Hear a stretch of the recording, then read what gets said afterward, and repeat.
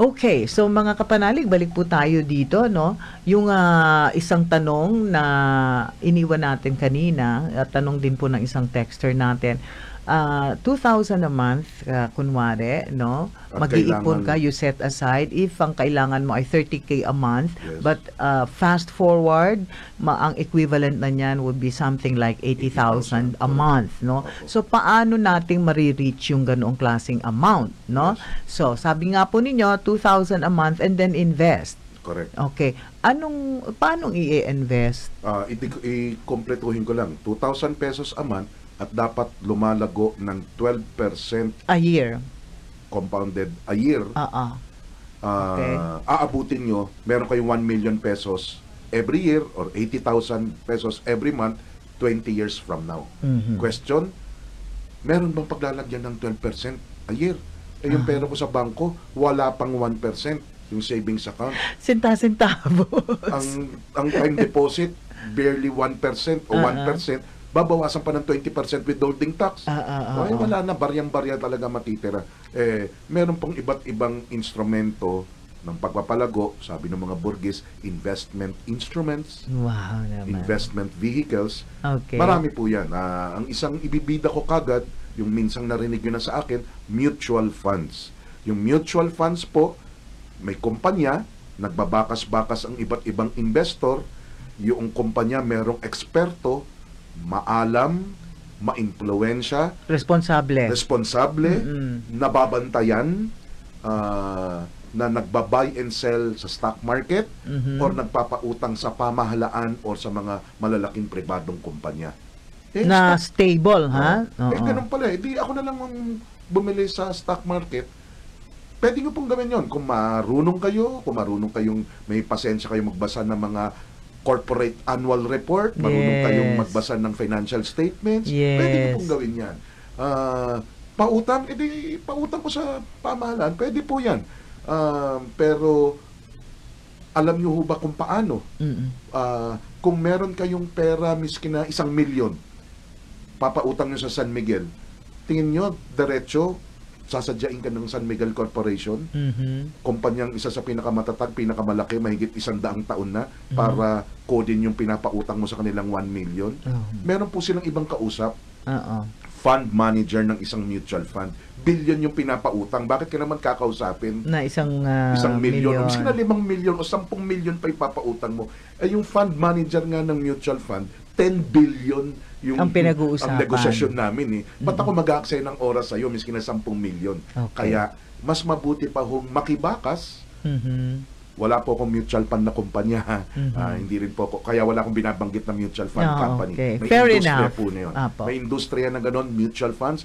Eh, sa panahon naman ngayon, na Ate Mel, yan, nakakalungkot. Ramdam na ramdam ko yung ah, pakiramdam mo sa fake news. Pero katulad nung dinidiscuss nila Ate Chi Mm-mm. sa ano nila, Sa Facebook, convention, oo. technology, eh, nauso talaga yung ah, GMG na ngayon eh. Ano yung GMG? Google mo girl. I-google mo girl yung Mutual Funds Philippines. Ah. Nandyan po, makikita nyo yung ah, ahensya, asosasyon ng mga mutual fund, iba't ibang mga lehitimo na nakarehistro, nababantayan ng ahensya ng pamahalaan ng mga Oo. mutual funds sa Pilipinas. To answer it completely uh, straight, consider mutual funds as an investment. In Hmm. fact, mutual funds hindi lang po 12% a year Ang, ang, sa mutual ang funds. actual na performance niya, Mm-mm. ah, pumapalo siya ng mga 13.5 o meron pang konting butal, pataas. Mhm, mhm. So, um, So, Google mo, girl. Yung mutual funds. Yung mutual funds. So, kung gusto Okay. nyo, i-google nyo na rin Armand Benko or KSK Co-op para makita nyo. May nakita kasi akong text, nagtatanong siya ng ah, contact number ko raw. Oo. Actually, there is one here Oo. na ano po ba daw ang... Eh, uh, pwede na ba nating i-announce yun? ah, o later na lang? Ba, ba, ba, ba, ba, ba, Ba- bakit ba- po ba- kaya niya tinatanungan ko? Makikipag- may, may, ano may, may utang ho ba kung hindi pa text message. nababayaran sa inyo? At ah, tina- hindi po, ah, ah, meron po kaming text hotline. Mamaya babanggitin ko po. Tutok pa rin po kayo dito sa programa. Babanggitin natin yung text hotline kung gusto nyo makipag-ugnayan sa Ah, singit ko lang po ito, no? Sige po. So kahit na nagsisave tayo, meron tayong mga investments, etc. Ang sinasabi po ni Miriam, live by your means. Huwag Correct. ubus-ubus biyaya. Good Correct. point. Good point. Of course. Okay, tama oo. po yan. Tama. Mm-mm. Um, yeah. So, yun, mutual fund. Mutual funds, yung Alright. isang instrumento na mag- pwede yung paglagyan para sa inyong ah, retirement. Mhm. Ah, pag kayo naman retired na, meron kayong pera, huwag nyo pong ilalagay sa mutual funds. Why not? Kasi po, ang mutual funds, pang matagalan. Five years pataas. Ah. Eh, ay, retired ka na. 60, 65. Meron kang lump sum, 3 million, 4 million, 10 million. Mm-mm. Ay, lagay ko nga sa mutual fund. Huwag po sa mutual fund. Dahil pag retirado na tayo, ano ang gusto natin sa totoo lang? Mhm. Yung binanggit ko kanina, LOI. Ano ang pwede kong paglagyan nitong pension ko para kumita, lalo na kung lump sum yung retirement Oo. natin, binigyan ka ng 3 million, wala ka nang tatanggapin buwan-buwan sa bagsakan. Eh, sana saan ko ba ilalagay ito? Kaya maraming nabibiktima ng scam, Mm, ah, Ate Mel. mm, Yung akala nila, uy, 3 million ang nakuha ko. Eh, ito yung... Dodoble, titriple. Oo, do-double daw pagkatapos ng dalawang buwan, anim na buwan. Ay, wala pong ganun. na layuan niyo po yun. So, mutual funds, kaya ko naman bina- nagbigay ng babala, pag gusto niyo ng regular na income, ang mga limitado po kayo na pwedeng yung paglagyan ng pera, ah, mabilisan, mga sumusunod. Of course, yung bank deposits, pero Okay. maliit ang kita. Pautang niyo po sa pamahalaan ng Republika ng Pilipinas. Ay, papa, eh, baka, baka nakawin naman nila yung... nakawin po ng politiko, Oo. ng administrasyon, ang pinautang nyo, ang pamahalaan ng Republika ng Pilipinas. Hindi yung politiko, hindi yung administrasyon. Aha. Kaya nga yung utang pa ni Marcos, natapos nating bayaran eh. Mhm. Tama o mali ang ginawa doon sa perang inutang. Pag nangutang ang pamahalaan, lalo na piso ang inutang niya, Mhm. babayaran at babayaran po yon ng pamahalaan ng Republika ng Pilipinas. Sa simpleng dahilan, kaya niyang bayaran. Paano niya kayang bayaran? Ininakaw nga. mag iimprenta lang po ng pera yung pamahalaan para bayaran yung utang niya na piso. Mm. Pag pinautang niyo sa bangko, pinautang niyo sa malaking pribadong kumpanya, pag dumating yung takdang panahon na kailangan ng bayaran, kung nalugi yung kumpanya at wala siyang pambayad, kailangan niya magbenta ng ari-arian or mangutang sa iba para bayaran kayo. Aha. Hanggang hindi nga magawa yun, hindi kayo mababayaran. Ang pamahalaan ng Pilipinas, pag pinautang mo, pag dumating yung takdang panahon na kailangan kang bayaran, or minamanage naman nila yan, Mm-mm. bago pa man dumating, titingnan nila, may pera ba tayong pambayad? Wala. Kung may pera, bayaran. Kung ah, wala, mag-imprenta. Ganun lang po. Ganon? Ganun lang po. Kasimple. So, tanggalin niyo po sa utak yan. Nako, mga magnanakaw yung mga nasa para sa mga politiko na yan. Ayokong pautang sa pamahalaan. May follow-up question sila. So, paano sa, I mean, kung- Paano gagawin yun? Paano gagawin? Pupunta ba ako sa Malacanang, pipila, bibigay ko ba kay... ah, Oo. ah, Iaalok. kay Paano Digong? inaalok yun? Oo. Pupunta po kayo sa bangko. Yung mga Oh. malalaking bangko, yung mga para mag-sponsor sila dito sa programa natin. Yung mga BDO, BPI, Metrobank, East West Bank, Security Bank. Si Dang lang, nangiti, ha. Siya ang bahala na doon si Ate Ah, Dan. ah, ah. Um, yung mga Universal Commercial Banks, yung mga malalaking bangko, puntahan niyo po yung branch manager, wag yung teller. Sana, Siyempre, sana okay. meron kayong magandang relasyon sa branch manager. Okay. Hindi dahil girlfriend nyo sila o boyfriend nyo sila. Mm. Kilala kayo, kilala nyo sila, meron kayong ah, ah, magandang relasyon, open ah, communication. Tanong nyo kung meron pa silang natitirang promissory note ng Mhm. pamahalaan ng Republika ng Pilipinas. Mm. Kadalasan, meron po yan. Mhm. Um, doon po nyo pwedeng bilhin yung promissory note Mm. ng pamahalaan. So, technically, sa'yo na may utang ang pamahalaan Ang dahil sa'yo na yung promissory note. But how walang, long? Walang pinagkaiba yan sa papel de ahensya. Alam niyo ba yung sa sanlaan? Ah, Yes, yes. Oh, eh, pero pa, gaano naman daw katagal na Iba-iba po. mababayaran ng gobyerno yan? Iba-iba po. Ah, kung hindi ako nagkakamali, last year, umutang diretso sa mamamayan ang pamahalaan. Ah, five years, seven years, ten years. Mamimili ka. Mm. Yung Mhm. pinautang mo, minimum 5,000 pesos. 5,000 lang, pwede mo na pautang. Ah, babalik na yun after 5 years or after 7 or after 10. Mm-mm. Ang interest po niyan mga nasa 4%. Okay, Ay, so parang ang liit. ma- maliit lang Pero, pero, pag kumpara sa bangko na 0.25, Mm-mm. mas maganda po yung pautang mo sa pamahalaan. Sigurado ka pang mababayaran. and how will the government let's Pay you. say no pay oo Every quarter, ibabayad niya yung interest tayo. Ide-deposit sa bangko mo. Ah, so ang After the nasa fifth year- middle, nasa middle yung bangko. Apo, after the fifth year, babalik nila yung 5,000 na pinautang mo. Mhm. Ayan.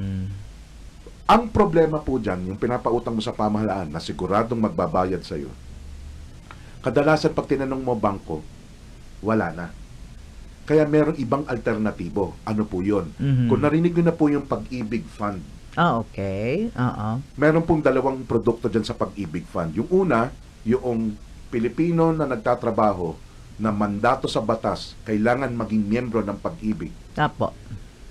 Nagbabayad ka 100 pesos a month. 100 pesos yung employer mo. Oo, tax So, deductible. Oo. I, I mean 200 tax salary deduction. Salary deduction, 200 na pupunta sa pag-ibig. In 24 months o dalawang taon, pwede ka nang umutang sa pag-ibig. Yun yung Right. isang produkto nila. Mm-mm. Ikaw yung nagko-contribute, pwede kang umutang. Yung pangalawang produkto nila, dalawa lang po ang produkto nila, meron kang 500 pesos. Okay. 500, hindi 5,000. Ikaw magpapautang sa pag-ibig. Mhm.